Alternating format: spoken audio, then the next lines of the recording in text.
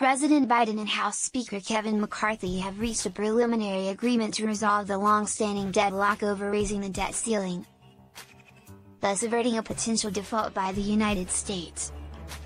Multiple reports indicate that if enacted, the deal would increase the nation's borrowing limit for two years, effectively removing the contentious issue of America's creditworthiness from the immediate political agenda until after the next presidential election. In addition to raising the debt ceiling, the proposed pact includes the implementation of what Speaker McCarthy has described as historic spending limits. These limits, expected to be in effect for the same two-year period, aim to address concerns about fiscal responsibility.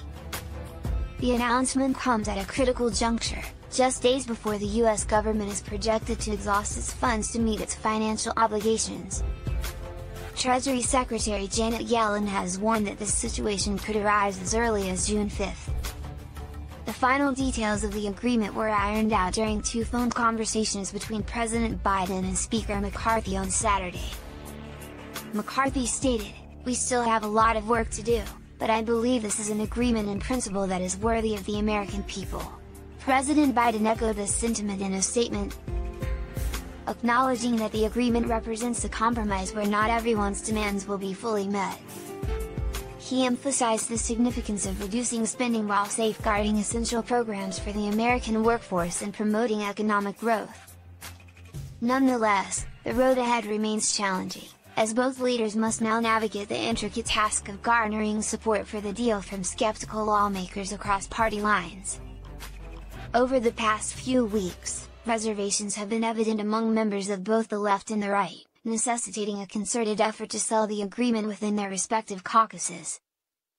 Speaker McCarthy provided limited details to reporters on Saturday, indicating his intention to consult with fellow Republican members before divulging further specifics.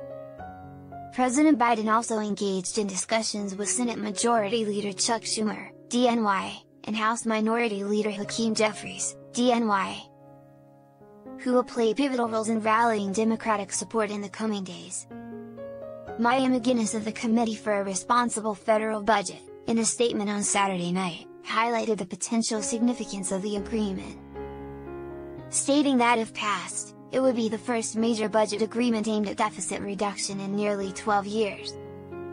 This would serve as a crucial signal that Washington is genuinely committed to addressing the mounting national debt. One contentious issue addressed in the deal, according to Speaker McCarthy, is the implementation of work requirements as a condition for accessing certain government programs. This matter has been a highly sensitive topic for both parties and was a sticking point until the final hours of negotiation. Liberal Democrats have strongly opposed increased requirements, arguing that they would have minimal impact on the deficit while inflicting unnecessary hardship on the most vulnerable Americans. Conversely, conservative Republicans have pushed for more significant spending cuts than those reportedly agreed upon in the final deal. Consequently, some of Speaker McCarthy's most conservative members are unlikely to support the bipartisan proposal in the days ahead. Many specific details of the agreement are yet to be revealed. Speaker McCarthy acknowledged that portions of the bill are yet to be written but assured the public that the complete bill would be published tomorrow preceding a probable vote in the House of Representatives on Wednesday. President Biden hailed the agreement as good news for the American people, as it averts the potentially catastrophic consequences of a default. He underscored the economic risks associated with a default, including the recessionary impact, devastation of retirement accounts, and loss of millions of jobs. In summary, President Biden and Speaker McCarthy have tentatively reached an agreement to raise the debt ceiling, which, if enacted, would provide a two-year extension while simultaneously implementing spending limits.